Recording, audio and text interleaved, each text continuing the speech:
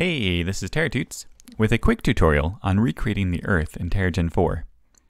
In a previous tutorial, we looked at generating a procedural planetary surface. In this case, we're going for something specific, which means we'll need some image maps, specifically maps for displacement, color, clouds, and a specular map to mask the oceans. There are a variety of resources out there, including some great ones from NASA, and I've included links in the description for the maps I'm using here. We'll start out with the displacement map. The higher resolution the better, and I'm going to be using a 42K map. Go ahead and pull out to a planetary view, and delete the default terrain. We'll add a displacement image map, select our image, and change the projection type to spherical. In Terragen, the planet origin is at the North Pole, so we need to bring the shader down so it projects from the center of the planet. We can do this by coming over to the planet, copying the radius, and pasting it as a negative y value into the image shader. Next come to displacement, apply displacement, and set the amplitude to 8,850 meters, about the height of Mount Everest. Next, we'll create another image map shader for the colors.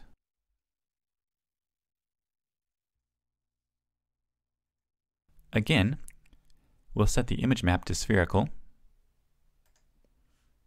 and bring the position down to the center of the planet.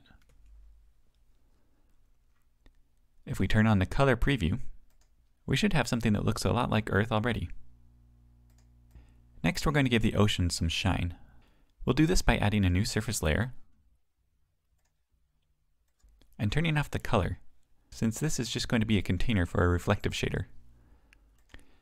We'll add a reflective shader as a child to the reflection holder, and I'm going to bring the roughness of the reflection up to 0.3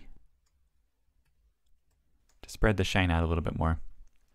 Now we're going to bring in our ocean image mask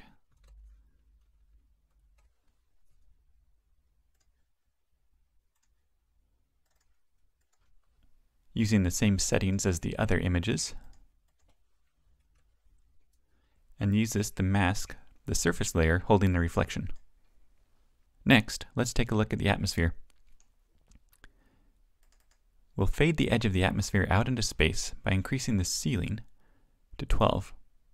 And let's give it a little more glow by increasing the haze sun glow amount and the haze sun glow power to 2. Finally, we'll add some clouds. We have a global cloud mask, but we need to give it something to work on. Let's add a global cloud layer. Increase the depth for emphasis. Bring the density up to 0.01 and increase the coverage to 1 so that we cover the entire planet in a thick layer of clouds. Now we can bring in our cloud mask as an image map.